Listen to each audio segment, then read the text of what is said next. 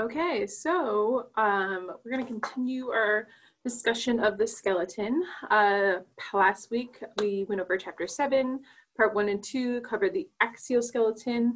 Again, I'm hoping by breaking down the skeleton into these, well, I mean, the, the chapters naturally did it, breaking it down into these two sections and those two sections into two parts.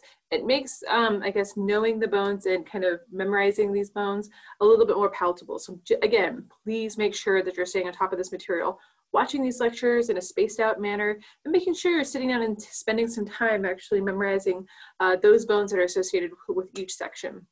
I think I'm going to start putting together kind of an abbreviated study guide, um, just listing off all the bones that are, you're going to be required to know. Maybe even making like a little, you know, uh, study guide, study sheet um, with the labels kind of associated with it. So that might be um, part of my homework uh, for the week. Okay, uh, so this week we're going to uh, dive into the appendicular skeleton. Uh, again, these are kind of the extensions off of the axial skeleton. Uh, these bones are generally required for movement, so we're going to be talking about both the uh, arms and legs, probably more commonly known, that allows us to you know, interact with our environment in a more efficient way. Okay, so as per usual, please make sure that you're answering your study guides for question, the questions for chapter eight prior to coming to the class on Tuesday and Thursday. If you have not been attending class, please make sure that you pop into one of these classes. Uh, we've uh, essentially made it far more efficient uh, having you fill out your study guides collectively um, on a Word document. And so if you have any questions about that, please feel free to ask me about that. Um, but that does mean because we are more efficient with that time, that I'm able to dedicate a little bit more time to going over the material, presenting some possible questions, um, in that review session. And what I end up doing is going through both the study guide questions that we, um, we end up answering the study guide questions, going over the study guide questions, and then getting some possible, let's say, exam questions sprinkled in there as well. Um, some of them are as simple as pointing an arrow pointing to a bone, saying what bone is this, but it's nice because it just kind of makes you think about the material again and again and again. Okay, um, make sure you do quiz eight, uh, which is due by midnight Friday. I actually, I think it might be quiz seven, but uh, I have to go back and look at the gradebook to make sure that's in fact the case. Um, homework eight, the adaptive practice chapter nine is due the following Monday, and that's when we take our turn from the skeleton into the muscular system. And, and these chapters are situated very similar to the way that the um, bone and skeleton chapters were, where we first talk about kind of the individual cellular composition of those particular, the particular organ system, um, or I guess system. Um, in this case, we're talking about, we talked about bones kind of as individual components, and then we talked about bones as, as they're put together kind of in the skeleton themselves in chapter um, seven and eight. Okay, so the muscles are gonna be kind of situated the same way. Okay, so study guide questions. Uh, we're gonna go over the pectoral sh shoulder girdle, uh, things like the clavicle, scapula, um, then we'll extend our conversation to the upper limb, uh, humerus, and then we'll finish by talk by an introduction into the hip bone. And the hip bone is where we'll kick off with uh, chapter eight, part two. Okay, so we have 206 bones in the in our skeleton. Uh, the appendicular skeleton has 126. Now that might seem like a lot of bones to you, but recognize there are pairs of bones here, right?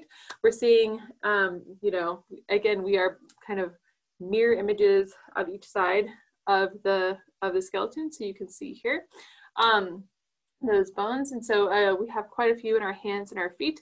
And so we're gonna go over some mnemonic devices to kind of keep those straight, um, particularly in this lecture.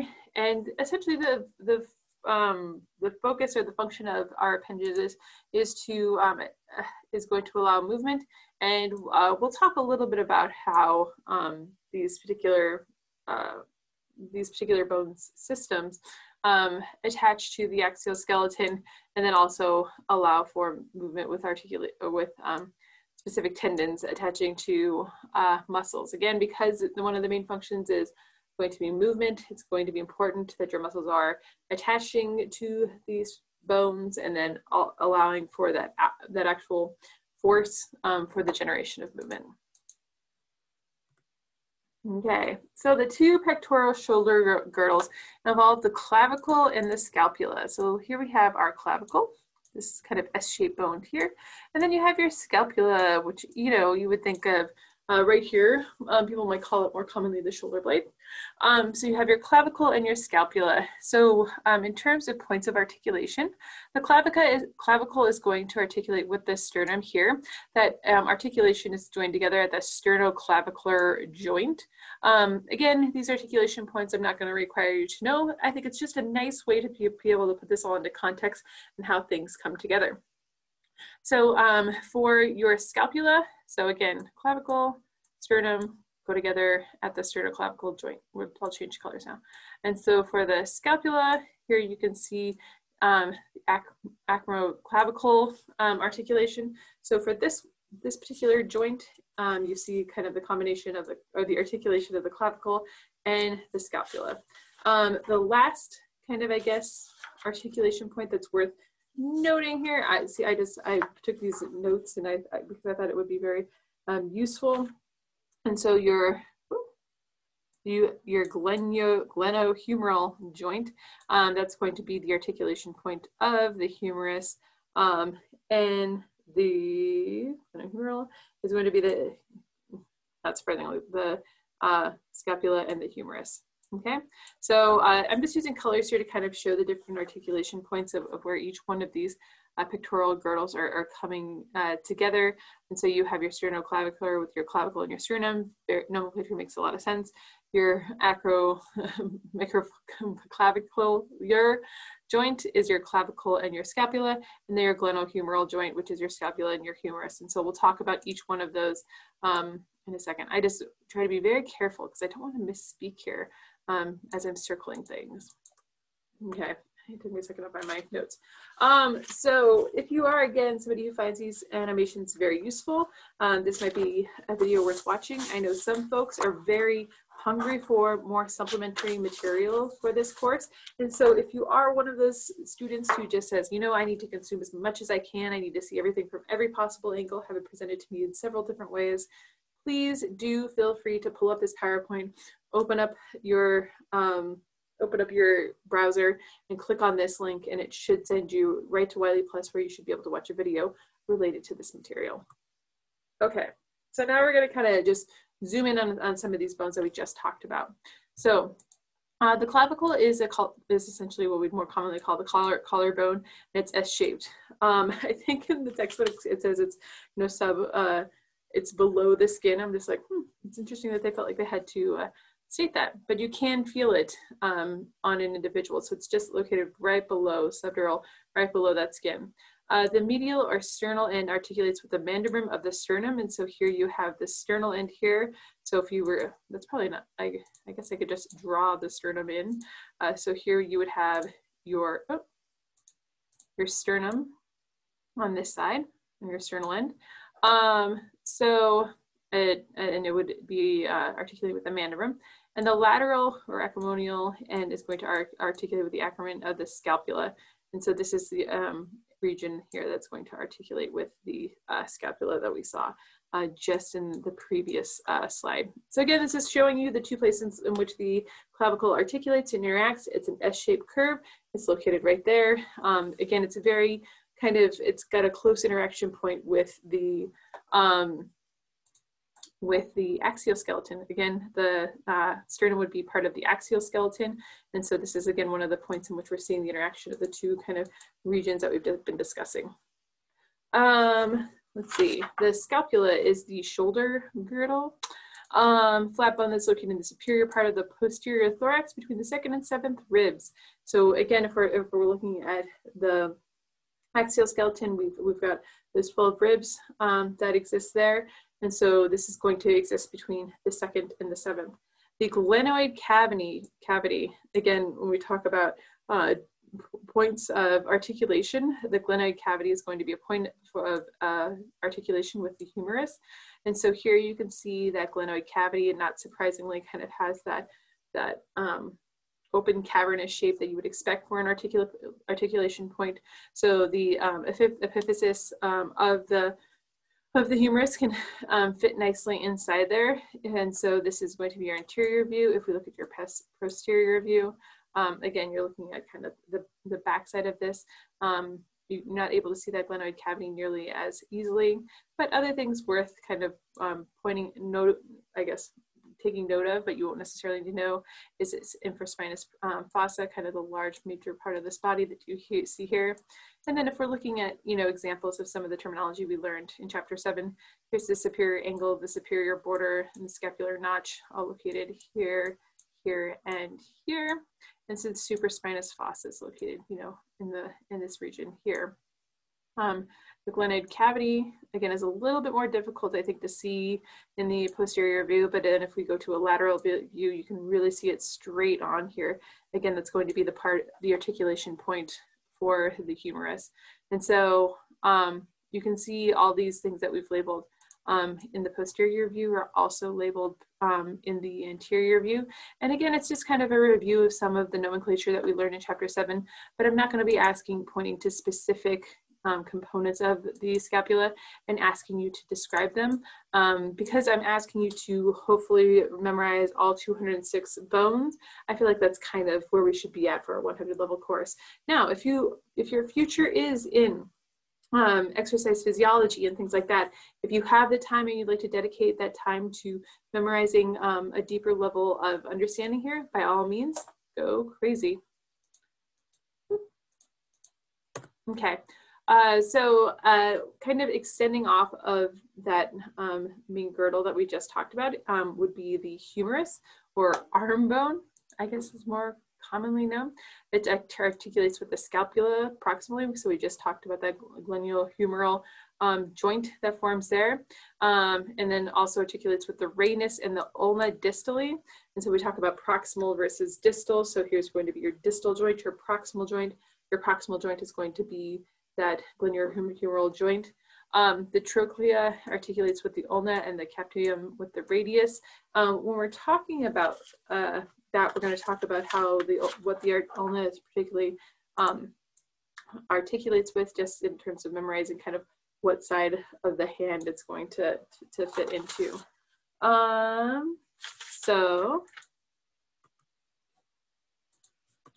okay, so if we look at some images here of the humerus, the radius, and the ulna, um, again, we'll just start off with what, we, what we've previously covered here. Here you have your clavicle, here you have your scapula, the scapula, and then you have that um, glenoid cavity, and then here you have the greater tubercle of the humerus. So again, often when we've been discussing long bones, we've been talking about the humerus as a great example of a, of a long bone.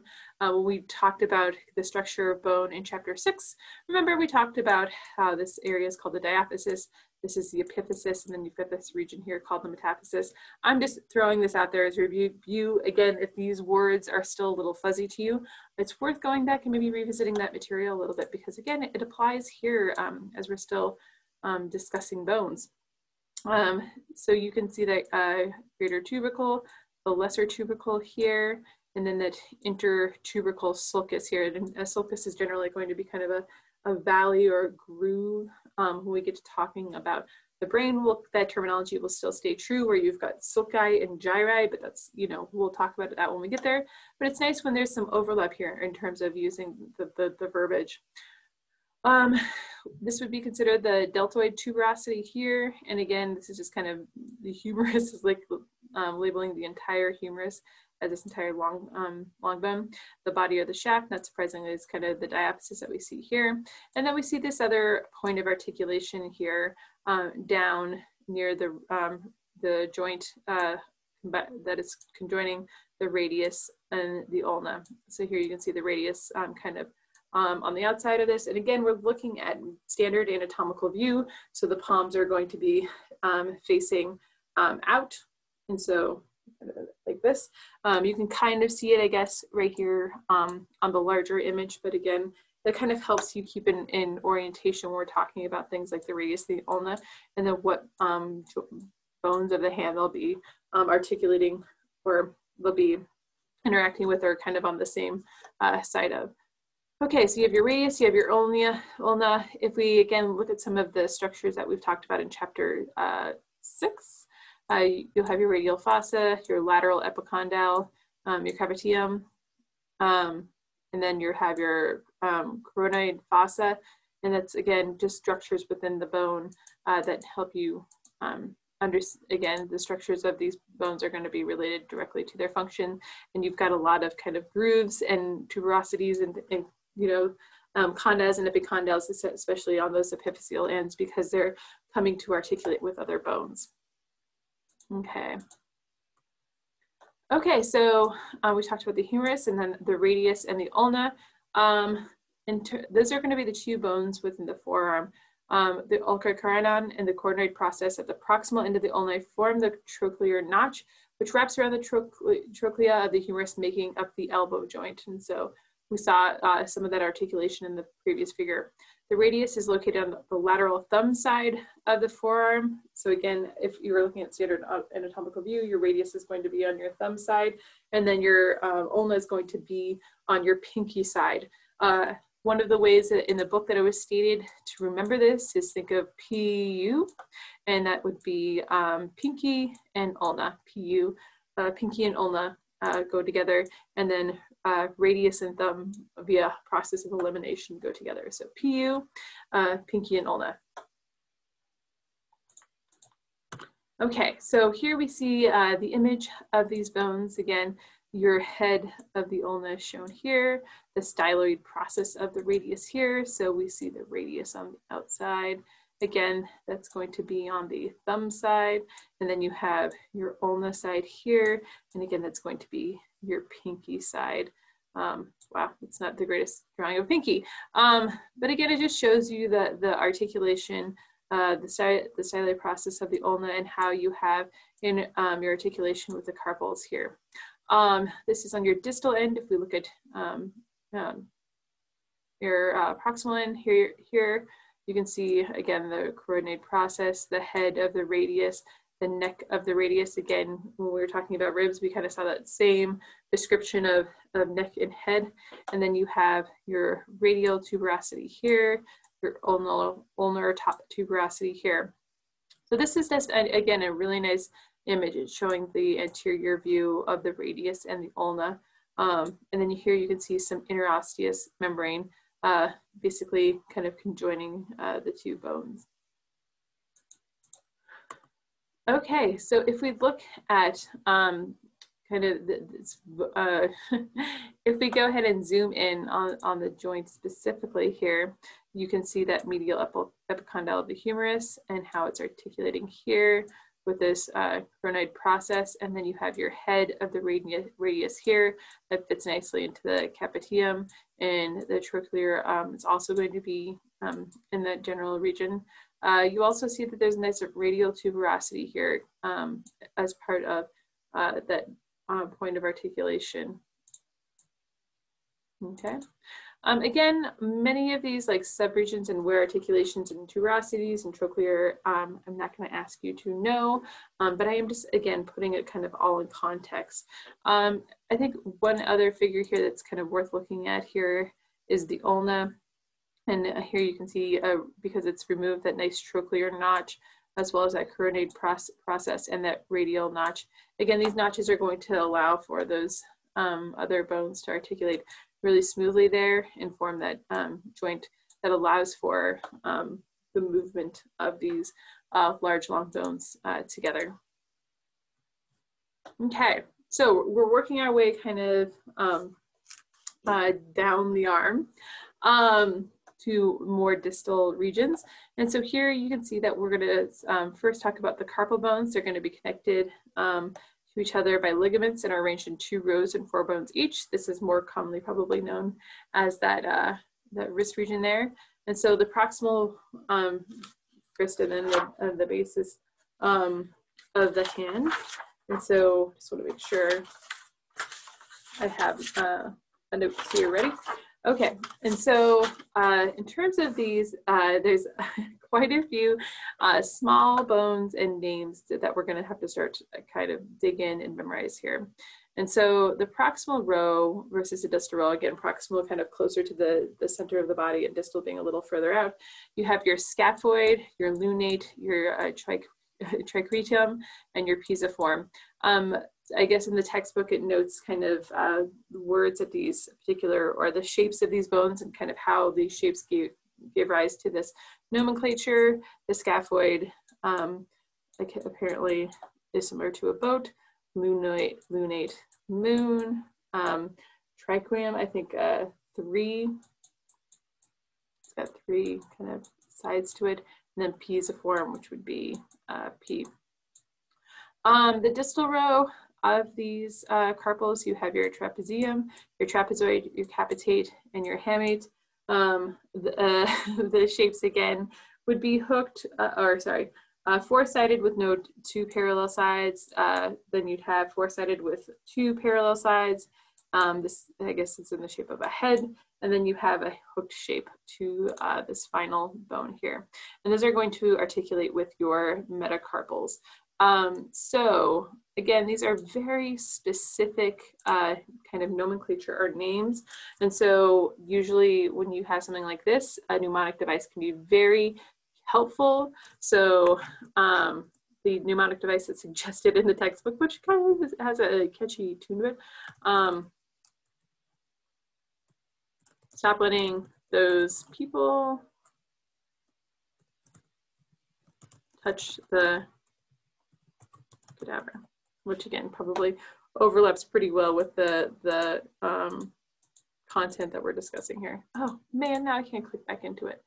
Um, so uh, you can see scaphoid stop, letting lunate, triquetrum, those, pisiform, people, trapezium, touch, trapezoid, the, capitate, cadaver, and then I'm not quite sure what happens. What happens? Oh, cadaver's hand. Cadaver's hand. That's the last word there. Cadaver's hand. So that's how you get the the H. Oof, that writing is rough. Um, so again, this is just a, a, a, one of the mnemonic devices that has been suggested. Um, this is the one that's in the textbook. But if you come up with something that's just a little bit more catchy, that makes more sense to you, by all means, please use that. Um, just because you've, again, this is where the memorization I think can get maybe the, the most difficult is because you're dealing with words that maybe you haven't thought about. You know, humerus, radius, ulna, those are things that maybe you've heard of before. Very infrequently, I think, have people heard of many of the names of the carpal bones. Okay, so um, going from, again, proximal to distal, um, you have the five metacarpals that make up the palm in the back of the hand, and those are going to be numbered one through five. One thumb. Think of one thumb. That's how the numbering goes. One thumb. One is. keep saying it. One thumb. Uh, the bases articulate with the distal carp carpals, with their heads articulating with the proximal phalanges. And so again, you've got your carpals, you have your metacarpals, and then you have your phalanges. So your phalanges are going to be the bones of the digits. There are 14 total here. The thumb is going to contain two, and then your other four fingers are going to have three, and they'll have a proximal, middle, and distal. I don't know why I did that, proximal, middle, and distal. So that's uh, ultimately kind of how that, so make sure you feel really comfortable with the terminology of proximal and distal. Again, it's gonna become um, useful here. And then uh, memorizing numbers and things like that are also going to be uh, useful. Okay, let me get this uh, erased up here. Okay, so this is again where the memorization gets a little, I guess, heady because you've got a lot going on here. We can see our radius, we can see our ulna. Again, ulna P, U is on the pinky, um, radius is on the thumb side. And so here you can see your scaphoid, trapezium, capitate, trapezoid, all located um, right here. And again, these are giving kind of rise to those different uh, shapes that we talked about. And then your carpals, your lunate, pisiform, triquum, and hamate. Um, you can see your lunate, pisiform, triquum, oh, then your hamate.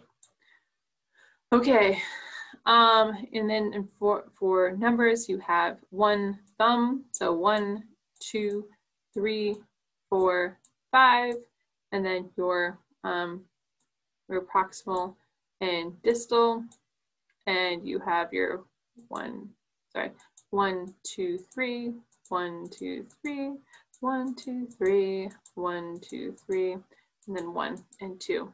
So these are your metacarpals, These would be your phalanges that you see um, out here. Okay, so maybe I'm going to go through this slide just a little bit more slowly because there is a lot of information here and I'm going to use some different colors. So let's first start with the carpals. So your carpals are located here. Um, your carpals, as we went over before, stop letting those people touch touch the cadaver's hand, okay? So stop right here, letting those people, let's see, touch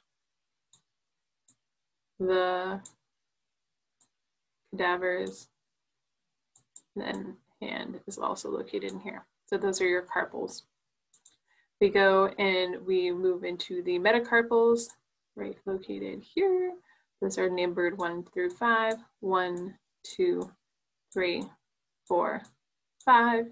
And then lastly, you have your um, phalanges. So one, two, one, two, whoop, sorry, one, two, three, one, two, three, one, two, three, going from proximal to distal. Okay. Again, I've, I've done a bunch of circling on this guy. You can do circling on this guy if you so like. Mnemonic device for those carpal, carpal bones. Stop letting those people touch the cadaver's hand. It's kind of actually written out here. And you can see um, it's uh, what's nice about this mnemonic device, it also goes through the lateral to medial sides of the proximal row and then the distal row from lateral to medial. So um, it's worth probably just spending a little bit of time on this particular slide and make sure you feel comfortable. And I know, again, this is uh, this slide has a lot of um, stuff on it that you'll have to memorize, um, but just recognize that this kind of, I guess, compensates or kind of offsets some of those slides where I show you where I'm showing you a bunch of, you know, tuberosities and trochanters and epicondyles, and I'm saying, don't pay attention to that this is actually where you should be spending your time is on um, a slide like this. Okay, um, so we've talked about kind of the superior part, uh, the superior girdle of the appendicular skeleton. So I guess we could talk about the inferior one now, the pelvic or the hip girdle. So we'll talk, begin our discussion about the, the pelvic girdle today, and then we'll continue that discussion um, on uh, Thursday, or I guess when we're reviewing it. So the pelvic girdle is made up of two hip bones, um, coxal bones. It's uh, articulate with the sacrum posteriorly. So again, um, right there at the base of your back, you've got that sacrum interacting with the pelvic girdle. Each bone is made up of three components. So you have the ilium, the ischium, and the pubis. And so we're going to look at uh, each one of those um, on the following slides. The two bones articulate anteriorly with the pubic bones, the pubic symphysis, and there's a disc of fibrocartilage between the two bones. And again, this disc of fibrocartilage um, has uh, an opportunity to kind of soften and become like a little bit more pliable during periods of your life like childbirth. okay, so the pelvic girdle, again, if you are a very visual learner and you like videos, great opportunity to watch a video. Okay, so uh, the pelvic hip girdle, let's go ahead and break down the large components of it. Here you have your ilium, here you have your ischium, and here you have your pubis. Um, in terms of all of these different kind of tuberosities, sacrum notch, again, I'm not gonna ask you to memorize those, so I almost don't. It's worth at least recognizing the larger kind of points. Things like the iliac crest, that's kind of, again, that most um, that part of your hip bone that probably kind of sticks out the most at that iliac crest. Uh, here you can see the tubercle of the iliac, iliac crest. Here you can see some gluteal, gluteal lines, inferior, anterior, inferior, and posterior. Um, and then also things to um, kind of recognize as you have your anteacetabulum. And uh, we'll be talking specifically about what articulates in that region. Um, here's your obturator foramen, and we'll talk about a little bit um, what passes through that region. Um, and this is, again, all the, the lateral view. If we switch it over to the medial view, you can still see that iliac crest. Um, and here you can see more clearly an iliac, iliac fossa. Um, and then that obturator foramen kind of from a different, uh, different vantage point. Um, all the other kind of tuberosities and notches and things like that not going to have you know. The iliac crest is probably like the most apparent visual kind of um, uh, I guess, landmark of the, of the hip bone. So that might be the only one that I would ask you about. Okay, so the head of the femur articulates with the um, acetabulum, which I pointed out in the last uh, slide, of the hip bone as kind of a, as a ball and socket joint. Now, unfortunately, we won't be covering the chapter of, of joints in this particular course, um, but we will be um, talking about this articulation point. Uh, the acetabulum is, is composed of all of the three of the bones that make up the um, hip bone. So if we look back here, you can see the ilium, the ischium, and the pubis. Um, that's going to be right there, um, kind of in the center. Uh, the acetabulum is right there in the center of all three of those regions. Okay, so the pelvis is divided up into superior and inferior bones by the pelvic brim, which is where the abdomen meets the pelvic cavity. So here we can again see a different kind of orientation um, of it. So you can see how the two hip bones come together and um, in your, this is an anterior superior view. You can see your sacral promontory here and how it fits nicely um, within the pelvic girdle. Um, and then you have your pelvic brim located right here. And then you have your pubic crest located here. And then that pubic um, symphysis uh, right here. Again, during um, during childbirth, this becomes a little bit softer, a little bit more malleable because those hips are going to open up uh, for the process of childbirth. I guess I'm kind of, I find that really interesting because I just went through the process itself. And so there are hormones and, and, and, you know, messaging systems that tell your body to kind of uh, relax and kind of open up those hips. And it's not a joke, man. Like, your hips really do open up and you kind of lose a little bit of your stability. You can, and I, I can speak from firsthand experience, you really do feel it. You feel like, um, I feel like your your hips are kind of coming apart. It feels like your legs are not just as uh, there's just a lot of pain in that region. Not pain, but it just feels very different. It's interesting. Um, okay, so in terms of the hip girdle, uh, you have the uh, greater or false pelvis. So we can see that false pelvis as you see here. Again, this is showing you um, a mid-sagittal section. So you basically have sliced the, the the, the pelvis in half. So here you can see that cross section of it. So uh, you'll see here that um, kind of bottom of the, of the spinal column, you have your sacrum and your coccyx located there. You can see how it's kind of tipped um, the plane of the pel pelvic outlet. And so here you have your false pelvis, and then here you have your um, what's called true pelvis or your lesser pelvis. The false pelvis um, again, is a little, a little bit more superior. Your uh, lesser pelvis is a little bit inferior. Um, but you can see kind of how the two interact with uh, one another. And this is going to also define uh, the plane of the pelvic rim and kind of, again, the plane of the pelvic outlet and, and kind of what the relationship between those two uh, look like.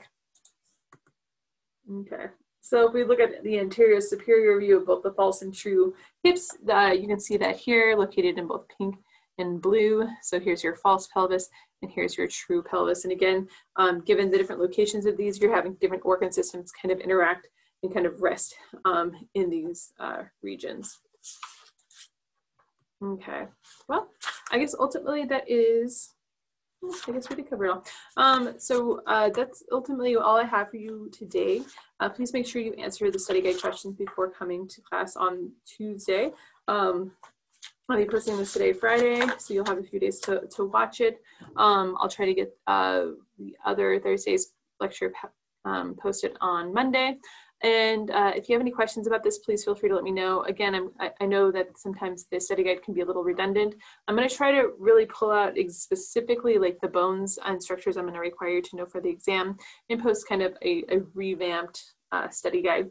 If you have not been attending class, it's probably not a bad time to just pop in uh, just because we are going over again things to know versus things you can kind of disregard. And so I think that makes studying just a little bit easier. Um, and also I'm going over the material basically like two times during that period. You're going through it with your group, for them we're going through it collectively as a group. And then during that time while we're going over collectively as a group and I'm presenting it, I'm also periodically asking you questions to kind of stimulate um, you know, those neurons. So uh, if anyone has any questions or concerns, please let me know. And uh, I hope everyone has a great weekend. Hopefully the weather sticks days the way it's been. It's been kind of a wonderful few last few days, wonderful fall days. Okay, see y'all later.